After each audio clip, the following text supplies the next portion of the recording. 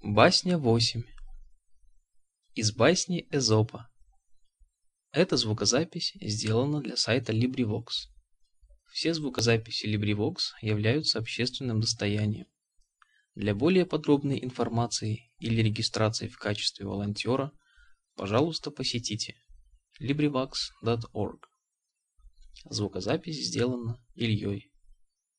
Басни Эзопа. Перевод Льва Николаевича Толстого. Басня «Камыш и маслина».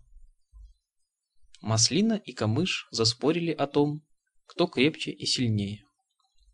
Маслина посмеялась над камышом за то, что он от всякого ветра гнется. Камыш молчал. Пришла буря.